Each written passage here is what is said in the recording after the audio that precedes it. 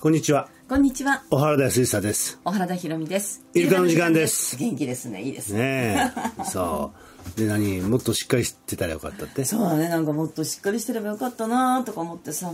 うん。ああ思うんだよそうね、自分でね。ああそうなんかもっと、いや、もっとね、やっぱり傲慢なんだよ。私もっと自分はしっかりしてる人間だと思ってたわけよ、すごく。うん。うん、しっかりしててって思ったんだけど、案外なんか抜けてるところ多いしさ、私はあんまりしっかりしてないなってちょっと昨日思うことがあってね。うん。だけど、すごくあれなんで、あの、実は、時間をかけて長く、うん。もう、カチカチの土壌を、うん。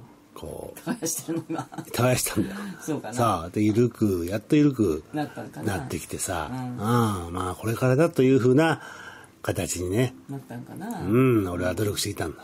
あなたが努力したとは私とても思えないけど。努力してね、あなたはここで育てたんだからそうな。なあ、だってしぐれさんに頼まれたんだもん。そう。こ私いつをこいつをなんとかしてくれってくれって。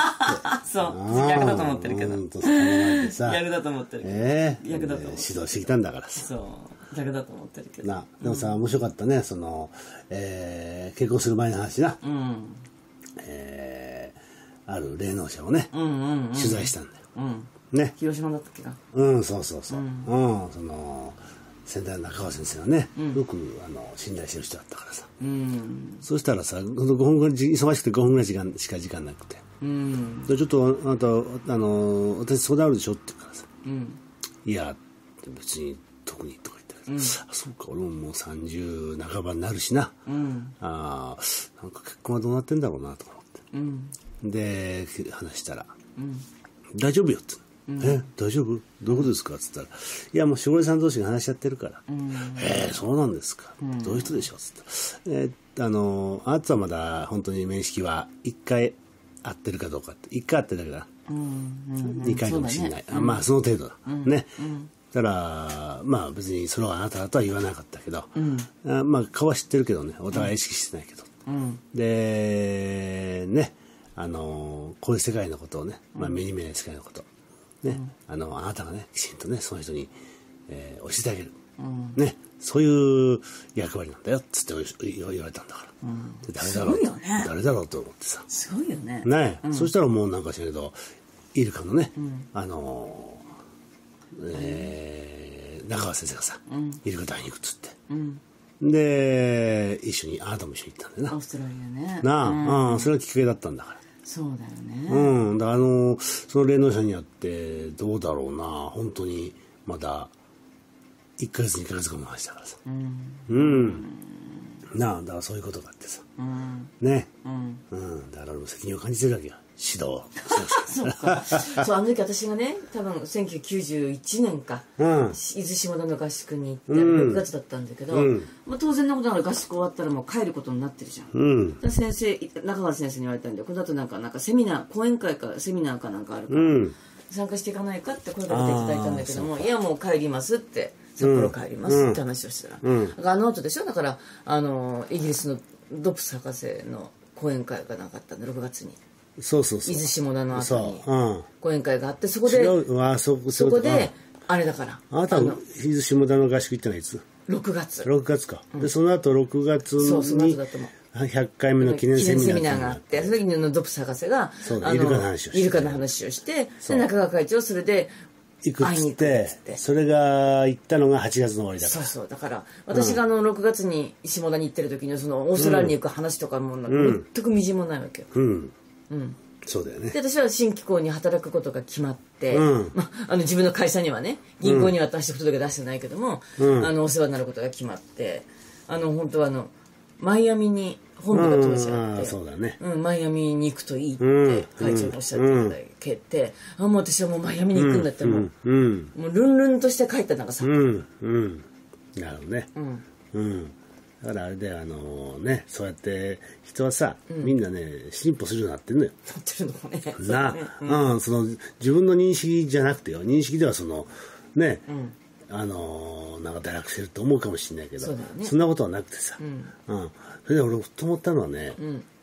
あの人ってのはさ、ん。これはあのあの自覚するかどうかじゃなくてその要するに苦難を選んで生まれてきてる、まあね。ね。だから要は魂の修行の場とこう考えるならば、うん。何もないのは修行じゃないと思うよねきっとそうだからね肉体持つこと自体が苦難なそうだね。っていうことらしいかねな、うんだからそういうことで苦難の道を選んできててね、だから苦難があるのは当たり前なわけよ、大しまあ苦しまあ苦難っていう言い方確かとか、でもまあ苦難だろうね。不自由になるってことだよね。そうそうそう。だから苦しいことがあるのは当たり前のことだ、ね。でじゃあそういう中でじゃあ幸せになるにはどうしたらいいのかって言うとさ、そしたらさ要するに苦を苦と思わないようになればいいんだから。まあそうだね。一般的に言われる苦例えば、坂道登って大変だっていうのをお足腰鍛えられて嬉しいなそうとかさ。そういうことだよね。そうだよね。うんうんな、うん、だからそういうふうにさなっていけば今度幸せになるんだから,、だからそういうものを排除しようと思うと無理そうがあるだね。それはあるかもしれないね。ね。だけどもそれをどう捉えるかということが大事なんだよっていうふうなことだと思うのよ。うんそれはあるかもしれな、ないねだからこれは帯先生がよくおっしゃるその人間の本質は悲しみにあるっていうな、うんそういうことも同じだと思うんだよね。そうかもしれないね、うん、どっちみちさ、いくらねあの俺があなたのことを愛してても、いつかは別れなくちゃいけない。そうだね。な。そうだね。それは間違いない、ね、そうなんだよね。うん。だからそういうふうな、あのーなんか宿命じゃないけどさ。うんそういうのを背負って、うんそう、そう、宿命だ。そういうのを背負って、我々はいるんだから、あのーあんまり、ね、えー苦労だ大変だっていうさ。そうだね。あいやでもささっきもさ新聞見てたんだけどさ、うん。ほらなんかあるじゃんあの駿河銀行の融資でさ、うん。シェアハウスを建ててさどうのこうのってあってさあの建物を2棟も建ててしまった人がさ、うん。まあ体験っていうか出てて多分お金がないからだと思うんだけど、うん。あの一生懸命そのマンションの掃除をしてんだって、うん。完全に全部入室するわけじゃないんだよ、うん。だから若い子がいっぱい住んでるところにおじさんが行ってさ、掃除してて初めは怪げな顔されてたけどもって。それでも月100万以上返していかなくちゃいけない。もう不可能なんだって。そうだよな。どう思っても不可能なんだって。なあそうだよな、うんうん。そう。だけどよく言うけどやっぱりなんかさ、そのあなたのインド先生で言えば自分のプログラムだしさ。そうだね。な。そこをどう乗り越えていくかっていう例えば誰かに助けてもらうっていうのもそうそうそうそう。だって自分で解決する必要ないわけだから。そういうことそういうこと。助けてもらってありがとうっていう経験も大事なわけだし、そうなんだ。よだから本当それはね、今のあなた言ったのその通りでさ、あの例えばねあのあれさあのあの中学生な、バイクが大好きなわけ、ね。大体バイクを見見ると目がキラキラっと輝く。そうだね。な。あの小笠原でもね。そう。君ちゃん乗してもらってね。だけどさ、俺はバイクなんか知らないし乗れないし。そうだね。バイクの場の字も関係ないね。興味もないし。ね、だったらじゃあ俺が今からバイクの勉強してバイク好きになってあいつにあのバイクのとこ押してあげるかっつったら、ね。そんな必要ないわけよ。ないね。だって知ってるやつを紹介すればいいんだかそうだね。らな、だから昨日だってそのね、バイク好きのおじさんいたんだよ最高の人が。もう随分会ってないんだけどね。そうだね。ふっといやこいつにさなんかバイクのバイクだバイク好きとなんかこうね、つなげたいなって、だからこいつ喜ぶだろうなって思ったの、その中学生のことを思いながらね、そしたらふっと浮かんできたんだよね。ああいつおるやんってね。いたよね。うんいたよいたよ。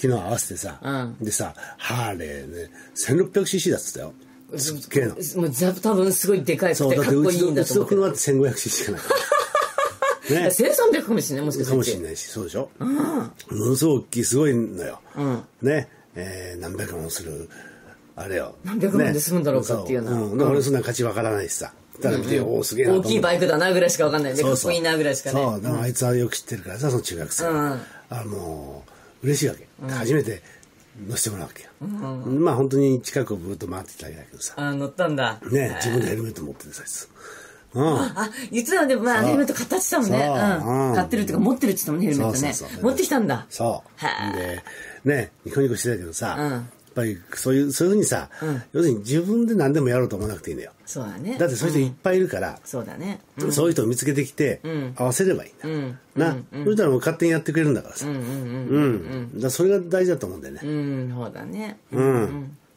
それはあるかも。うん。そう。だからね何でもまああなたはしっかりしなくちゃいけないっていうけどそれは何でも自分でできなきゃ気が済まないところがあるからさ、まあやっぱあるんだろうな。ああそうじゃなくてできないことは人に任せるそうなんだよね。うん、あ無理なんだから、どんなスーパーマンでも全てのことできるのは無理なんだから。いやそれはだからさお客様には言うのよサロンに行ったお客様に。はね、人間ってね手は2本しかないし足は2本しかないしって、それ以上のことは抱えられないんだよって、うん、でやっぱり横のつながりだよね。だから今すごく自分は小笠原もそうだってさ、月地カフェもそうだしさいろんな人と関わりながら本当助けてもらってるなって、支え合えてるなみたいなそう,、だね。いうのはあるよね。そうそうそうそう、だからその方が力出るのよ。自分で全部やるやるやったら、自分は満足かもしれないけど、本当成果は10人でね、えー分け合ってやった方がずっと喜ぶ大きいよね、うん、あの大きな仕事もできるだろうしさ。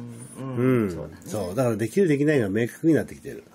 うん、でできないところに一生懸命なるんじゃなくてできるとこやって、できないところはそうだね。できるとこを伸ばすみたいなね。そう誰かにポンと任せればさ、俺いいと思うんだよ。だから俺昨日本当にあのバイクでさ、あの中学生と、おじさんと合わせてさ、すっごく気持ちがいいねあああいい仕事したなって思うわけ。そうねあなたのひらめきはよかったそう俺は何にも知らないバイクのこと知らないから、何も知られないんだから、逆だから教えてもらう方だから、かといって別にバイクのことそんな知りたいわけでもないからさ。